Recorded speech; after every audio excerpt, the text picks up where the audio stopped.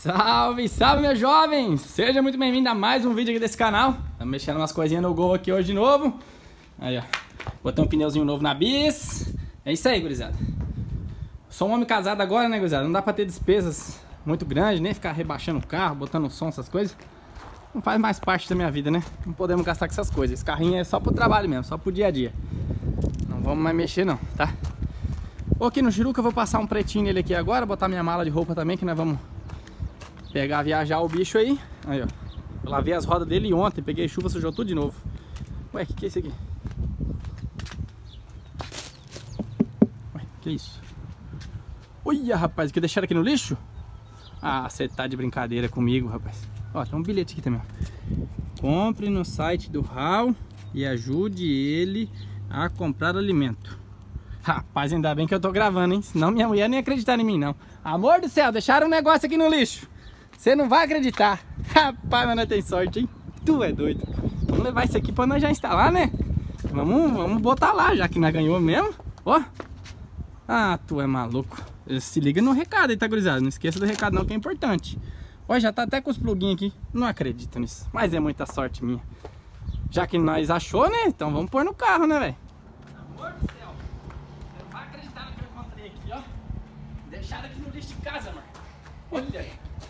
Acho que cabe certinho no porta-mala. Eita, deixaram até uma potência aqui também. Rapaz, mas eu tô com muita sorte hoje, hein, amor? Meu Deus do céu. Ainda bem, né, que eu disse que não queria gastar. Seria melhor, né? Não tô com muita pressa, sabe, pra ver tocando, mas sabe como que é, né? Vamos lá, né, velho? Já que temos essa sorte toda hoje. Ó, gurizada, eu vou ser bem sincero com vocês, viu? Não é todo dia que eu encontro essas coisas assim no lixo, cara. Tomara que esteja funcionando, né? Tem nem vergonha nessa cara. Aí, gurizada, ó a nossa nova aquisição aqui pro Sagu. Comprei essa caixinha essa semana aqui, tá, gurizada? Brincadeira essa história do lixo aí. Mas daqui a pouco tem gente que acredita nisso, né? Bem que eu gostaria mesmo que alguém deixasse isso aqui ali no lixo. E vamos dar uma reformada, ajeitar ela, que ela tá soltando os carpeiros. Tá meio baleada. E aí nós vamos botar ela pra tocar. Vou mostrar um negócio pra vocês aqui, ó. Aí é o seguinte, né, meus jovens? Ainda tem que pintar isso aí no fundo aí, ó. Aí a caixinha de som nós comprou, mas o dinheiro ainda não deu pra comprar a potência, né, o amplificador e nem o toca-CD. Aí, claro, como eu sou um genro maravilhoso, a gente vai lá e pede pro sogro dele emprestada. Meu sogro também tem uma caixinha trio lá, só como ele tá sem carro agora, ele não tá usando. Aí eu peguei essa potência dele aqui, ó. Não sei nem dizer que marca que é estranha aí. Diz ele que veio de Portugal. O irmão dele trouxe pra ele. Então vamos colocar ela aí pra fazer um teste, ver se a caixinha tá funcionando bem. E nós já deixa aqui por uns dias até eu comprar, né? Toca CD também, porque um genro maravilhoso que nem eu merece tudo, né? Ó, toca CDzinho também, nós estamos instalando o bicho aí. E é isso aí, já já nós bota pra tocar aí pra vocês verem. É uma caixinha pequena, justamente pra não ocupar muito espaço no porta-mala. E pra nós ter aquele somzinho bacana, né? Porque o somzinho de porta ali é muito fraquinho. Aqui, ó, eu instalei essa semana essa, os alto-falantinhos aqui, ó. Esse aqui foi presente de um inscrito lá da época do Sapecado. A gente acabou não usando na época, eu deixei guardadinho, porque eu sabia que um dia a gente ia conseguir usar lá. E é isso aí. Vamos botar o bicho pra tocar, pra nós fazer os testes aí. E aproveitar essa sorte que nós deu, né? Fazendo aquela instalação raiz, ó. Os instaladores de som iam falar, meu Deus, você parafusou o módulo atrás da caixa. Antigamente se fazia muito isso. Diz que é errado colocar o módulo aqui. No caso eu tô colocando que isso aqui nós praticamente vamos ligar só hoje. Eu peguei isso rapidinho do meu sogro para nós fazer um teste, ver se a caixa tá funcionando, né? Porque eu comprei ela sem funcionar. E porque nós temos um churrasquinho para ir hoje também. Mas depois quando eu comprar uma potenciazinha, vou comprar uma daquelas pequenininhas, sabe? Tem mais perto aqui, senão às vezes o áudio não fica bom. Daí aquelas potencinhas são bem pequenas, daí eu vou parafusar atrás do banco lá, ajeitar, né? É que se eu parafusar essa aqui lá, vai ficar um monte de furo na hora que eu tirar. Eu quero evitar a fadiga. Então vamos fazer essa gambiarrinha aqui. Isso aqui me lembra meus tempos do Escort, hein? Era uma pedaceira de fio que Deus me livre. Não tinha cabo PP assim naquela época não, né? Pegava fio de energia de casa, qualquer coisa que você imaginar que passasse energia, até um fio de cerca de vaca. Nós tava ligando. Tempos do Del Rey do meu avô, que nós pegava aqueles mini system de casa. Nossa, falar isso me faz até parecer velho demais. Desmontava ele, olha o que nós fazia com o Del Rey do vô. Desmontava aqueles alto do mini system, ligava no toca CD, meu Deus. Aí olha só, gurizada, nós não tinha caixa de som, né? Porque nós tinha desmontado o mini system do vô. Nós pegava o imã do alto-falante assim e colava aqui atrás. Ou deixava no chão o imã, porque daí o imã de alto-falante é forte, né? Aí que juiz. Depois que eu descobri que não pode fazer isso nunca com o imã do alto-falante. Mas daí sempre tocou também. Nós íamos nos bailes da comunidade lá, não dava nada. A vantagem é que nós era a sensação com o Del Reizão, né? Hum, imagina. Nossa, se eu tivesse aquele Del Rey hoje pra mostrar vocês os prós, quantas amucinetes que nós quebrou, pino da tulipa. pino da tulipa era direto. Furamos o tanque dele patinando uma vez. Pra quem não sabe, aí o tanque do Del Rey é de lataria. Aí nós... Nós falou pro vô que furou sozinho, né? Mas a verdade é mentira, né? Foi dando patinada, furou o tanque do bagual. Eu vou de um Del Reyzão, tipo da cor desse, desse módulo aqui, ó. A placa do Del Rey era ADB6120. Me lembro até hoje disso. Altos cavalos de pau com aquele Del Rey. Um dos carros que eu aprendi a dirigir. Eu acho que de carro foi o primeiro carro que eu dirigi na vida. Nós ia pra chácara ou pra fazenda, ia meu avô, meu avô era magrinho, minha avó, os dois no banco da frente, o vô sentado no colo da avó, porque eu, se fizesse o contrário, minha avó esmagava o vô, porque a avó era gordinha. E eu guiando, só que no pilote. Meu pai dando bronca no banco traseiro. Tempos bons, tempos bons. Agora vamos colocar aqui, ó. Mostra aqui, amor. Esse carro tinha som, tá? Ele tinha uma caixinha de som, então eu dei a sorte, ó, que os RCA estão passados, tal, tá tudo certinho. Ele tinha alto-falante aqui também. Foi tirado, né, quando eu comprei, a senhora tinha mandado tirar. Então isso facilitou muito a nossa instalação hoje. Mas é claro que, como eu falei, né, quando a gente botar uma caixinha mais adequada e tudo mais, vou pintar, vou passar esses cabeamentos por outros lugares. Que tem uns cabos aqui que eu não sei nem o que, que é, esse aqui, por exemplo, eu só vou isolar. Esse GND aqui também. E vai ficar show de bola. Vamos ligar aqui pra ver tocando agora, hein? Ó, gurizada, o que, que é a vida de um homem ser uma mulher? Eu já tava gravando o vídeo aqui, ó, e eu tinha me esquecido de agradecer esse presente chegou ontem. Minha esposa que me lembrou. De verdade, cara, fiquei surpreso com isso aqui, ó. Um inscrito nosso, o Marcos Tavares, ó. Vou deixar o contato dele aí. Aproveitar para fazer a propaganda para você e para te agradecer também. Alguns dias atrás ele entrou em contato com a gente e me perguntou se eu gostaria de trocar os bicos injetor do Gol. E eu falei, cara, não faço ideia se esses bicos são novos, são velhos. Se você quiser mandar da sua empresa e tal, a gente faz uma divulgação para você e tal. E eu te agradeço, me ajuda sim.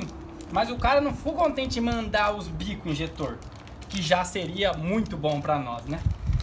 Na verdade, uma das coisas a gente até percebeu agora. Além dele ter mandado o kitzinho de bico injetor do nosso golzinho aqui, ó, do sagozinho, para nós trocar, ele mandou também um copo Stanley, velho. Mas não é um copo Stanley comum, gurizada. O famoso, né? Esse copo aqui é mais famoso que... É um copo Stanley personalizado. Olha isso aí. Olha que da hora. Personalizado com o meu nome e com a empresa dele aqui, ó. Olha que bacana, cara. Pelo que eu tô vendo aqui, é original mesmo o copo. Não que se não fosse também não tem problema, tá? Eu não tenho frescura, não.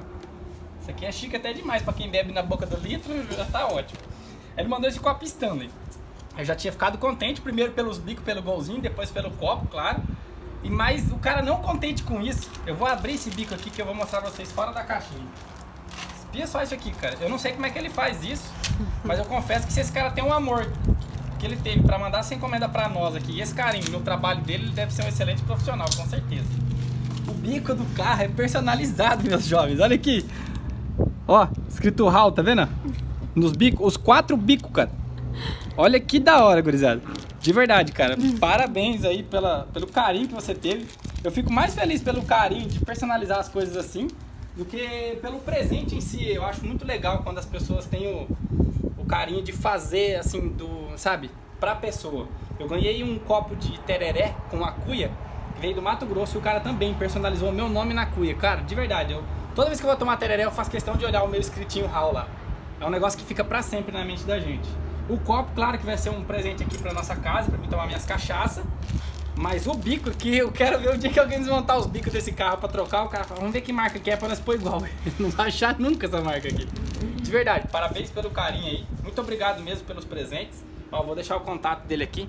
Como eu falei, se esse cara tem esse carinho todo em fazer esses produtos aqui personalizado pra nós, tenho certeza que ele deve ser um excelente profissional também. Aqui tem o Instagram ó, da empresa dele e o Instagram pessoal dele também. Galera que puder, segue o trabalho do cara lá, dá uma força pra ele. Muito obrigado, viu, Marcos? Obrigado pelo presente do carro, obrigado pelo copo também. E obrigado, sobretudo, pela, pelo carinho da personalização aí. Logo mais a gente vai fazer essa troca aqui, pra deixar o bichinho funcionando nos drinks. E o copo eu não vou nem embalar de novo, porque daqui a pouco a gente já vai botar ele pra funcionar já. Agora vamos continuar com o nosso som aqui. Ó. E a minha mulher ficou com uma dor de cotovelo do caramba, que ela fala que só Que chega presente mesmo? pra mim, não chega pra ela. Vamos botar essa caixa pra tocar, meu amigo. Tá piscando, tá gravando, meus jovens, ó. Pena que eu toco esse dedo me encaixou até o final aí, ó. Ele é muito grande. Segura o Pô, de verdade, eu não sei se aí pela câmera vocês conseguem ter uma noção, mas ficou um grave muito legal, cara. Essa potenciazinha é desconhecida, mas é forte pra Dedéu, velho. Pra nós quebrar um galho uns dias até eu comprar um toque daí, uma potência, tá servindo muito bem. Forte a potência, hein? Meu sogro tem uma caixinha trio com Sub Champions, aquele Pioneer. É top a caixinha dele, cara. Eu tava. Mais um fabricado no estúdio Pugmente, então tá aí, Miguel. Eu não sei como é que vai dar de direitos autorais aqui nessa música aqui, mas como eu tava falando, é, o meu sogro tem uma caixinha trio bem top, dois, é, duas cornetas, um Twitter e um Sub Champions daquele da Pioneer, aquele, aquele subwoofer toca pra caramba, cara. E eu tava interessado em comprar, só que meu sogro ele tá sem carro agora, mas também vai comprar um carro, né? Assim que ele comprar, ele vai montar o som também. Por isso que eu vou usar só por alguns dias esse, esse módulo e, a, e o toque CD aqui, até virar a fatura do cartão do mês, aí nós compra. Um subzinho, subzinho não, um amplificadorzinho trio igual aquele que eu coloquei no Chiru, toca demais aquele amplificador lá, cara. Ó. Eu não sei se vai dar direitos autorais, não. Eu tô meio com receio, porque direto bloqueia meus vídeos, eu tenho que gravar tudo de novo.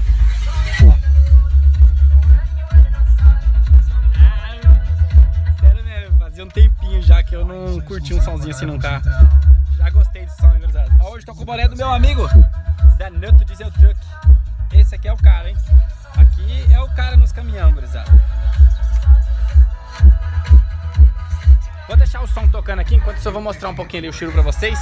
Galera tá enciumada, dizendo que eu só gravo o gol agora, não gravo o Chiru. Curtiu, Miguel. O homem do Bob Esponja Laranja. Deixa ele aí pra nós virado é ver como é que vai ser aí, que vai tocar, se vai esquentar, coisa errada. Meu pai e minha mãe estão chegando agora de viagem, vão passar aqui em casa tomar um cafezinho com nós. O Chiruzão tá daquele padrão, né, gurizada? Tá aquele padrão. Comprei as massas de poliroda pra ele, tá? A famosa pedra azul, fazia, ó, tempo que eu tava sem, hein? Economizando os pila pra construção, depois economizando os pila pra isso. Deixa eu limpar a câmera aqui. Aí. Mas ele tá daquele grau, né, gurizada? Só trabalha, só. Graças a Deus aí o bichinho é abençoado, hein? Essa semana nós fizemos revisão dos rolamentos dianteiro, troca de lona de freio dianteira. Que eu tinha trocado só os de trás em casa, né? Na frente aí eu levei na mecânica ali no Sidão. Oficina do Sidão aqui de Nova Esperança pra ele fazer pra nós lá. Quem fez foi o Talbinha lá, que é companheiro dele de trabalho lá. O Chiru tá daquele padrão, né, meus meninos? Ó, ó o marrilzinho. A frase nova que eu coloquei aí atrás, ó. Faça mais do que existir, a nova frase. A vida é mais do que levantar, trabalhar, pagar boleto, dormir, levantar, pagar boleto, dormir. Tem que fazer mais do que existir, gurizada. Passar aquela aguinha nas rodas dele pra na manhã nós decolar, hein? Hoje nós vamos no churrasquinho amanhã nós vamos decolar e ir embora. Mais uma viajada no lombo desse bichão aí. Meu companheirão de estrada, meu parceiro. Isso é um filhão pra nós. Vamos ver como é que tá a sonzeira ali pra nós já finalizar esse vídeo aqui pra vocês. Fazia muito tempo que eu não instalava som, hein? Banho, calcinha. Baiano Adesivos. O bola do GSB. O Miguel. O papai do ar. Só que toca só. Agora esconder aquele fio ali de baixo. O toque CD vai ter que ficar assim pra fora mesmo, não tem o que fazer porque ele não entra todo. Mas tá show de bola. Pouquinho nós vamos montando o bagual aí. Os pouquinho nós vamos montando. Toques falando de porta estão tocando também. Esse aqui eu deixei mais desregulado pra eles não forçar muito, né? Tá show de bola. Agora já tô bonitinho. Ó, parece que vai fazer um exame de fezes. Que bonitinho que eu tô. Comer uma carninha na casa do sogro agora. O bicho é forgado, cara, né, velho? Pega o amplificador do sogro, pega o toca CD do sogro de propósito, pega a fia do sogro, ainda vai comer uma carne na casa do sogro. Ave Maria. Tem que ser um gerro muito bom mesmo mari- merecer tudo isso, hein, gurizada? E nós vamos ensinar, encerrando esse vídeo por aqui. Ó, uma outra novidade aqui pra vocês também, ó. Pintei essa muretinha aqui de casa pra fazer um teste de tinta aí. Só falta dar uma segunda mão. Essas coisas parecem bobagem assim, mas são pequenas conquistas que a gente faz na vida. É que o portão tá fechado agora, senão eu vou mostrar pro lado de fora ali. Lá o pilar lá também. Depois eu vou passar uma tinta naquela parede lá, só que ali eu quero fazer textura. E nessa aqui também, ó. Só que aqui são 30 metros de muro, então haja textura, né, gurizada? Mas é, a sonzeira ficou instalada, tá funcionando bacaninha, já vamos botar pra... Opa! Ah, tem alarme! Uh. Minha mulher alarma o carro dentro de casa. Aproveitar esse, sonoro aqui pra nós se despedir dos seis. Deixa eu pegar a chave do carro aqui. Tem uma birra de coisa tocando assim.